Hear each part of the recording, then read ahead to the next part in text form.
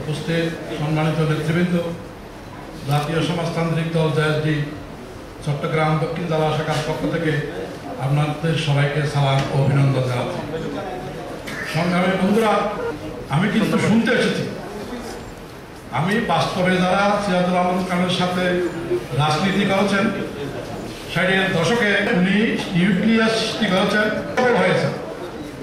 রাষ্ট্রচিন্তা সফল হয় নাই কেন? আমাদের বিভাজন কেন? বিভাজনের কারণে সিরাজুল আলম খানের রাষ্ট্রচিন্তা রাষ্ট্র সংস্কার সফল হয় নাই বলে আমার মনে হয়।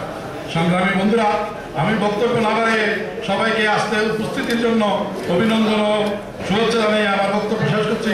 সবাইকে ধন্যবাদ। আসসালামু আলাইকুম।